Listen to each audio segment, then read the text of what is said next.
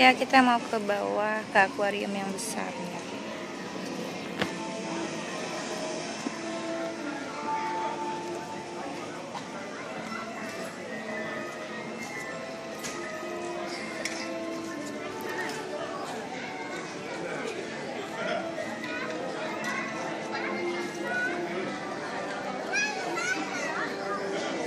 Oh my god.